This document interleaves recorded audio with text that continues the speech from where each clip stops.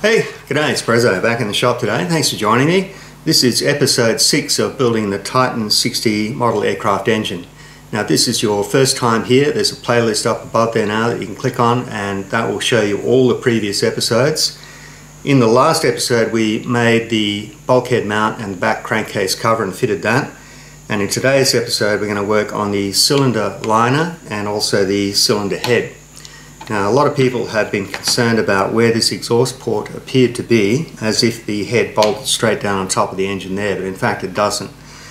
The liner will fit inside this bore in the crankcase, slides down quite a long way but even so roughly half the length of that liner will be above the surface here and then the head itself bolts down on top of that. So by the time we're finished we'll pretty much double the height of the engine. Now the material that's supplied for the liner is a piece of heavy walled steel tube. It's pretty close to the correct overall length. We'll need to bore this out to the finished bore size or close to it and then we'll need to uh, cut it to length. A bit of machining on the outside there and leaving a shoulder at one end. Now later on there will be a set of cooling fins that will be shrunk onto this liner and we'll have some bolt holes in here to line up with the cylinder head and also the crankcase. Now the cylinder head is supplied as a casting. Now this has to finish at 1.875 inches. Now somebody got to this with a hacksaw and cut the gate off and was probably a bit um, overzealous in that process and unfortunately this is going to be undersized. So measuring that now we got uh, 1.85 inches so we're a bit short on the diameter so unfortunately this piece of material is now scrapped. However, I've got some 6011 T6 and this is uh, probably a superior material to cut the cylinder head from. And the bonus is that this stuff anodizes really well, whereas this doesn't because of the zinc content in it. So later on we're going to be able to anodize the head and I'm thinking, I don't know, gold, red, something like that. and that's going to make the engine look really classy. So I think we're going to head over to the lathe first, we'll do the liner and I've got some mandrels and jigs set up for holding all of these parts and I've done all of that off camera so I can concentrate on actually making the parts rather than jigs and the fixtures. So uh, yeah, let's go. In the uh, build notes it actually says to face this uh, piece of stock and then bore it out close to the finished size and then finish by reaming. Now the finished size on the bore is meant to be 0.937 of an inch, which is a bit of an odd size and I don't have a reamer anywhere close to that. I do have some adjustable reamers, so I'm thinking that what I'll do is to machine this very close to its uh, finished size, then run that adjustable reamer through, but I'm going to leave a small amount of stock to take off later on by lapping. Uh, I believe that these little two-stroke engines uh, benefit from having slightly clearance fit at the bottom of the liner and then almost a zero clearance fit at the top where the piston will go to top dead center. And the way to achieve that is by lapping and then putting bias on the lapping toward the bottom of the liner. Now I've also machined up a little sort of a go, no-go gauge. This end here is about 5 thou undersize and then it finishes here at about 1 thou undersize. And if I can get that to finish and slide it into the liner then I can do the rest by lapping or or honing or whatever. But uh, I just want to get very, very close to my finished size.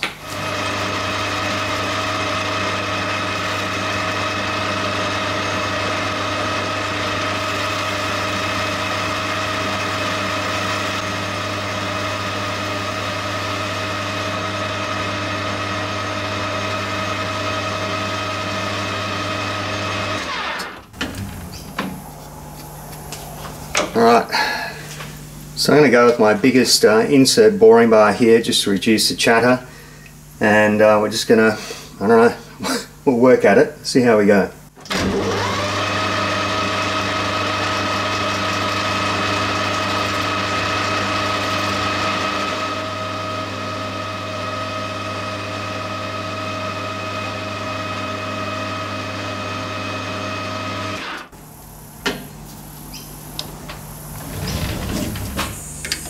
Uh, clearly this is not round. I just want to work out where we're at as starting point.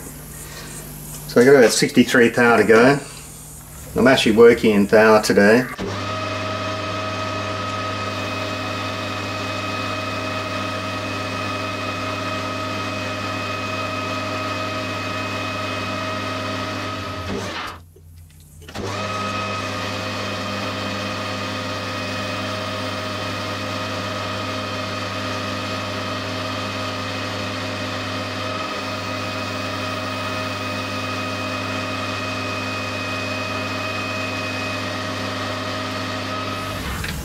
Right, should be able to take the last bit off in one pass. So I did uh, 17 thou the last one. This one I'll take at 16.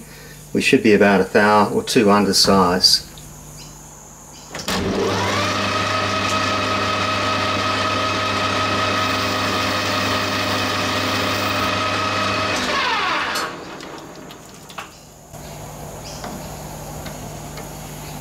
Alright, well 5 thou under on this end of the gauge here and it's got a bit of a wiggle in it so we must be pretty close.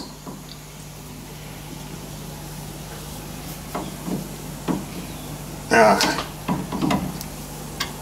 I don't know, that seemed a bit tighter than it should be but I'm only measuring with calipers, should really do this with a mic.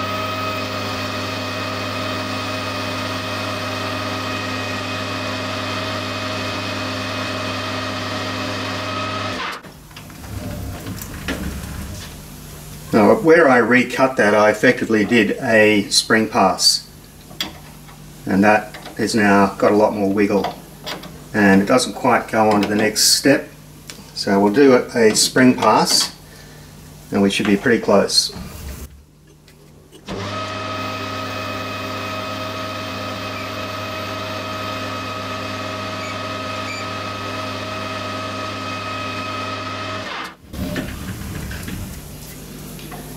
Tiny bit of chatter there. Well, there you go.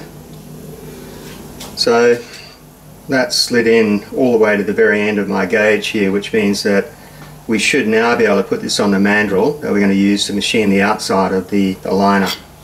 Let's see how that goes. So this is the mandrel that I machined previously.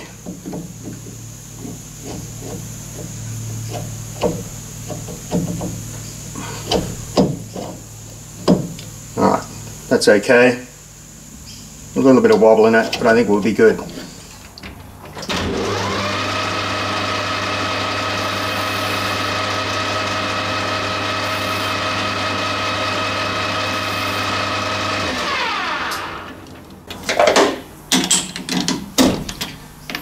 I'll flip this around, clean up the sand, then we'll measure it and get it to length.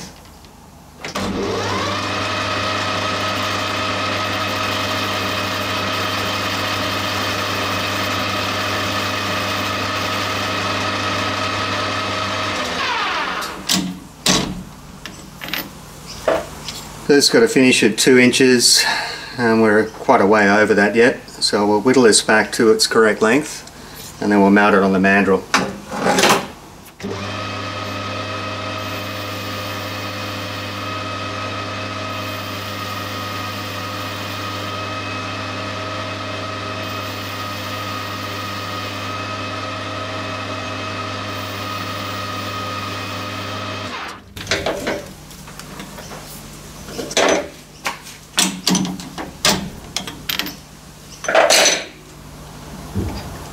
uh, about 27, 28 thou to go.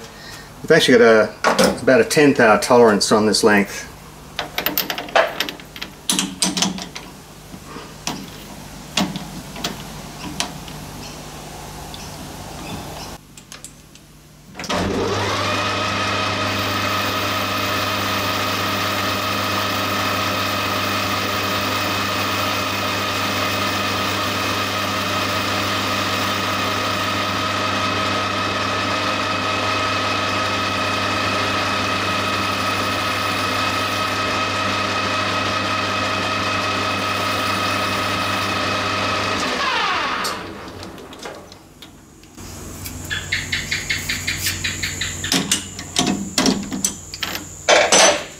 Uh, the finish inside there's not brilliant, but I'm pretty sure I'm going to do some post uh, processing on this anyway to get that bore accurate to size and also improve the finish.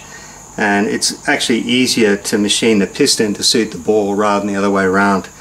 So if this works out a little bit oversized, not the end of the world. This mandrel here is machined to be one thou undersized and it's relieved in the center. Now I machined this out of some cold bending steel. Now this is stuff we used to supply to students in the school to do machining projects and it's awful. uh, it's no wonder the kids could never get a decent finish on this stuff. I used to beg the, uh, the uh, head of department to buy some good quality free machining steel and uh, when they saw the price compared to this stuff they just said no can't afford it uh, we'll use this but in this case it doesn't matter what the surface finish is like uh, since we're only going to use it once so I'm going to hold this on with a an M6 cap head screw now we need three different diameters on this. We'll clean this up and the biggest diameter will be the register that fits against the top of the cooling fins. The next size will be the shrink fit size for the cooling fins on the liner and the smallest diameter which will be at this end will fit inside the crankcase bore. So we'll clean this up first and I'm going to set all my measurements off this end face here and we'll set that on the DRO and then we can get our steps along that length.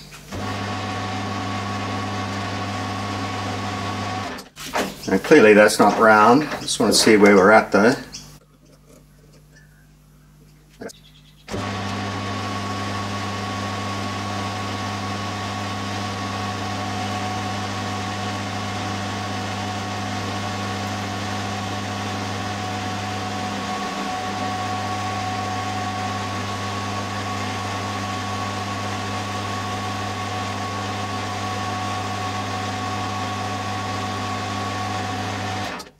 That was our finish pass on this largest diameter up here and then we got the two steps now to put in the rest of the liner. So I'm going to turn the second largest diameter up to this end which will form the, the shoulder that will fit down against the, the cooling fins.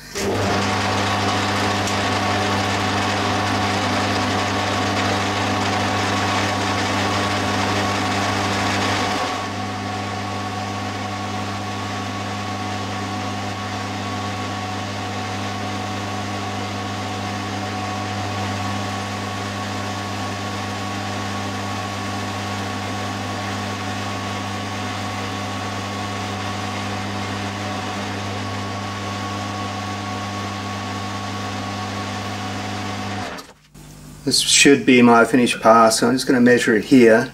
This part will be machined again later anyway. Ah, look at that.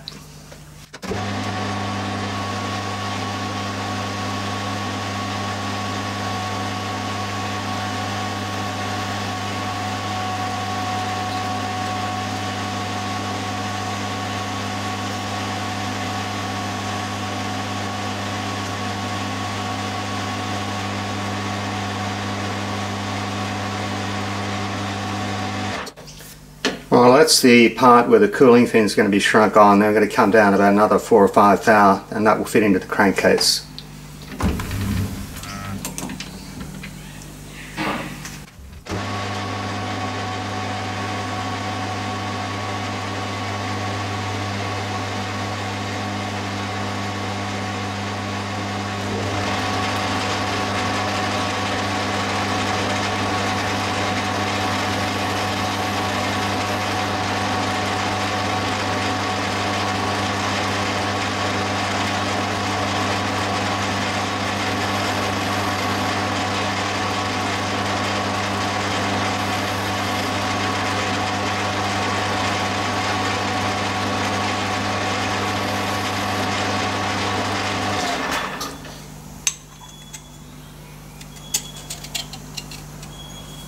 Alright, nice.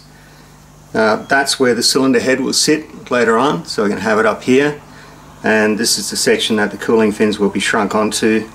And then if you look through the exhaust port, there's no gap, or there's no hole through into the cylinder liner, but that's where the ports will be cut later. And on the other side, there'll be another set of ports for the intake to take the fuel air mixture up to the cylinder head. But uh, yeah, it's turned out alright. Do need to break that edge down here, the sharp edge down here, we can do that later. And I went to all the trouble to polish that and then realised you're not going to see it anyway, it's all going to be inside the crankcase. But the, the bore of the liner still needs some work, um, but that can come later as well, but we're going to get on to the cylinder head now. Okay, I think this is a good time to stop and explain what I'm going to do next. And uh, I did say that after finishing off the cylinder sleeve, we were going to have a go at doing the cylinder head and get all of the preliminary machining done on that. Not from this casting, of course, but from the other piece of stock that I had. But you can see that there's a a boss here that needs to fit inside the cylinder sleeve. This will actually become the combustion chamber at a later stage. And the fit between that boss and the inside of the sleeve needs to be fairly close. And when I had a look at the finish that I got after boring out the sleeve, I was really disappointed in myself. Um, I don't know if you can see, but the quality of the finish in there is, is pretty awful, to be honest. And I made it worse by trying to use an adjustable reamer. Now, I had this left over for another job. It's a cheap import reamer. And I set it to the right size and tried to run it through there and I think I just made it worse. The blades on the reamer were grabbing and kinking and, and sort of cocking sideways, and I knew that if I ran that through under power, I'd probably ruin it. So I stopped and put that aside, and I decided that the best thing to do is to lap this now before we go ahead and make the cylinder head. Even if I do just a coarse lap on it, it will improve the surface finish, it'll bring it uh, parallel and accurately dimensioned or at least uh, circular, truly circular. And then once that's done, I can go ahead and machine that boss to go inside the sleeve. So I needed to be able to make a lap. Now this is an expanding internal lap and I've never made one of these before and I had a look at a few resources on the internet and there were some commercially available ones and some that were shop made and I've sort of taken a few features from each of those and come up with my own design. So this is made of aluminium. It's already uh, like a fairly close fit inside the sleeve and it has to be able to expand. So there's a pair of M4 uh, grub screws in there that uh, bear down on the bottom of this slot. Now the slot goes right through to a clearance hole on this side here and that just leaves a tiny little bit of material on the other side there to act as a hinge. So once you tighten these grub screws it opens up the slot and the, the lap will expand inside the, the bore of the sleeve. But you need to be able to drive that somehow, and uh, what I've made is a steel shank, and it's a sort of a fairly loose fit inside the, the hole in the center of the, the lap. And the idea is there that you can allow the lap to float inside the bore of the sleeve, even though you're driving that or holding it stationary and rotating the sleeve. And in order to keep that from rotating, uh, I've got a sort of a cap here, and it's got a, a roll pin uh, through the uh, thickness of the, the cap and a single M4 grub screw. And it will fit over the shank like that and the roll pin will fit down into that little uh, clearance hole there.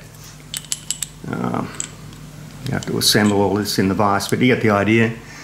So that now can rotate uh, and still float inside the liner, which I think is fairly important. So uh, I'm going to get all this assembled now, we'll get over the lathe, I'll protect the bed of the lathe and then we'll start that lapping process and just see how we go. But I feel a lot happier if I have this at least partially lapped before we make the head. Okay, this is how this works. I've got the spindle of the lap in the chuck of the lathe. I've got the lathe bed covered and as you can see there, the, the body of the lap is sort of free to move around a bit. I'm going to run the lap at fairly low speed and I'm going to use this uh, the same lapping compound that I used on the crankshaft. I think it's 5 micron. Worked okay on the crankshaft so I figure it's alright on the sleeve. And we're just going to put a bit of that on the lap.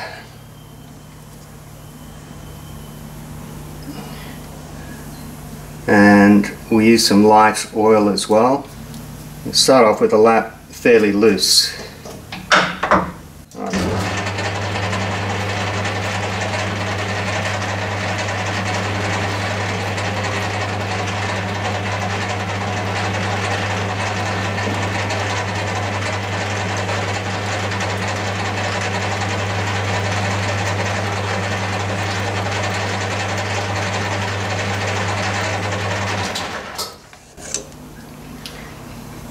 Few little burrs on the inside of that sleeve from where I tried using the adjustable reamer and I could feel those catching but they seem to have gone now. So we're just going to expand this a bit at a time.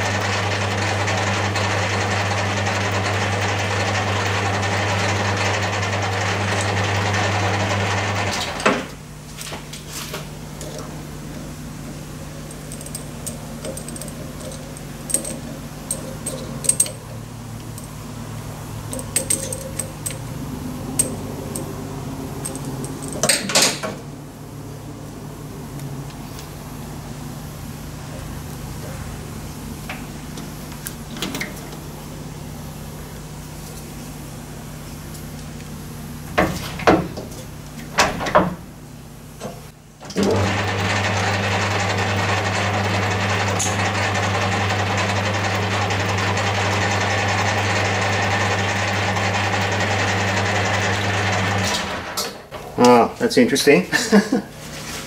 Alright, seems you don't have to expand it very much for that to grab. Um, I've got a block of wood here with a split in it. I'm going to use this as sort of a handle. That'll get me a, a better grip on it.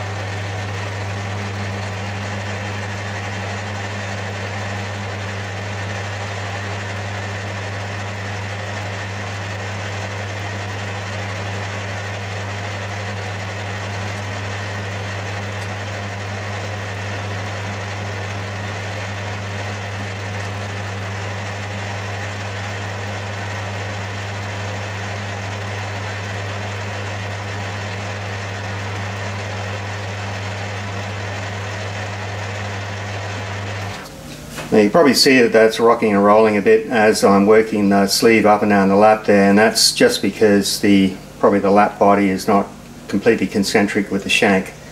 Now I'm not sure whether that makes a difference or not. You know in theory you'd say well it probably puts some bias on one side of the sleeve or the other but I feel like it's getting better like you don't notice it quite as much as the, the process goes on.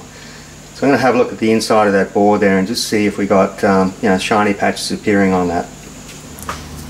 Well, it's sort of getting there. Uh, that adjustable reamer really did a, a, lot of damage inside there. I, I was stupid to use it. I uh, regret totally now using that, but I think I can get this cleaned up. Now, it may end up that the sleeve is a little bit bigger than what's shown in the drawings, but we haven't made the piston, so that we can make that to fit. So I'm just going to keep at this now. You don't need to watch all of it. we'll come back when I reckon I've got that bore clean. Well, the good news is it seems to be working, so I've just given that a bit of a clean, and this end of the sleeve is looking quite polished and smooth now. Unfortunately, the other end is badly scored. Now this is the one where I put that adjustable reamer in and realised it wasn't working and took it out, but it's left some quite deep score marks there, and they're going to be not impossible to get out, but it's just going to take time, and we're just going to have to keep working at it. So I've been doing this now for about 15 minutes, and what I do is um, put fresh lapping compound on, some more oil, put this on by hand. You've got to be really careful you don't sort of cock it sideways and get it caught. And then when you can feel it, that's rotating freely, then you spin, uh, switch on the spindle of the lathe. And I keep turning it end for end and I'm running it off both ends of the lap periodically. So roughly one third off either end of the lap and that way you don't get a bell mouth in the bore. So uh, just going to have to stick at it, unfortunately. I, I wish I'd never seen that adjustable reamer now. Should throw it away.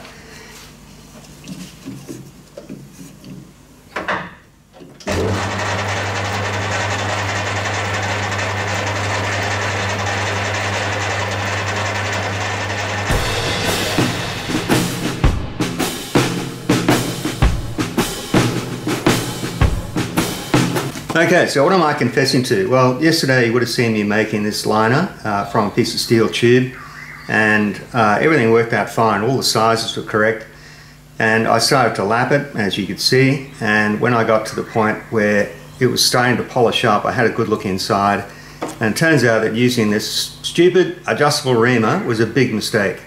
And the gouge marks that were left behind where I put that reamer in there were uh, not going away and uh, I think I could have lapped it a lot longer and probably I would end up with those gouge marks still there. So I recognised the lost cause and I said, you know what, chuck that away and make this one. Now this is made from the end of an old four-stroke engine crankshaft, like one of those 18 horsepower single cylinder engines. And when I cut it up on the bandsaw I could tell that it wasn't steel. And from the chips left on the bed of the lathe, I'm pretty sure this is a malleable iron but it machines beautifully and I had a big enough piece of stock to make another one and it took me about half the time to make this one as I spent on this one yesterday. So let's call this one a practice and uh, this is the one we're going with. Now I also changed the way I was lapping this. Instead of doing it in the lathe I just did it on the bench here with my cordless drill and uh, the reason for that is that I don't like getting the lapping compound anywhere near the lathe and it was just a bit easier to do it on the bench and if anything locks up you can just let go of the trigger of the drill and uh, I'm not going to show a lot of it on camera because I'm pretty sure that uh, less mature people would look at that and uh, find it rather amusing. Uh, I needn't elaborate why. but uh, yeah, it, it, it, was just easier doing it on the bench here and just doing it by hand. But uh, suffice to say that I got a pretty good result. And I'm going to try and show you inside the bore there. Uh, I'll see if I can get a torch down there and we'll have a good look at it. All right, I don't know how well it's coming up on the camera, but that's almost a mirror finish from where I'm standing. So if you look down the bore of this, there it is, there you can see it. yeah, that's really, really pretty. So that's malleable iron, and I think anyway, this laps up better than steel. Now, anybody who's a, uh, an expert on this might be able to shed some light on that. But I'm really super happy with this one. So that's the one we're going with, the old steel one. Well, let's just say that was a practice. And uh, I think this one's going to do a really good job on the engine. Okay, this is how the assembly works. So the sleeve just fits down into the crankcase like so. And it sort of bottoms out about there. This space here will be where the cooling fins will be shrunk on later on and then the cylinder head goes on top of that again. Now I've run out of time in today's episode but we'll uh, look at this next time. We'll make the cooling fins and the cylinder head. We'll try and get all the holes drilled, get all that part of it bolted together and then we can move on to doing the piston and the connecting rod. Now it turns out that I've already made a connecting rod but this is a mock-up and it's 3D printed. And here is the piston. Again 3D printed. And I'm going to glue these two halves together and then we'll get this sort of machined or sanded smooth until it fits in the bore of the sleeve. And the reason I did this is I wanted to visualize what it looks like in the bottom of the piston. And I wanted to see how the connecting rod fitted into that part. So at the moment it sort of needs a bit of fettling to get all that to work but I prefer to do this than to look at the drawings. If I can see a 3D representation or a mock-up, it gives me a bit more confidence to go ahead and actually make that part. So um, perhaps next time we'll have this all fitted and we can see how that works. But for today, I'm going to say cheerio. Uh, thanks for joining me and uh, check out the next episode. And uh, yeah, it's Prezzo signing out. Cheers. Look, it's time we talked. I know, I know but you've let me down once too often. No, it really is over for us. Look, don't look at me like that. Don't cry. I'm going to see other tools. So should you. Now just leave. Oh, and don't forget to leave your key.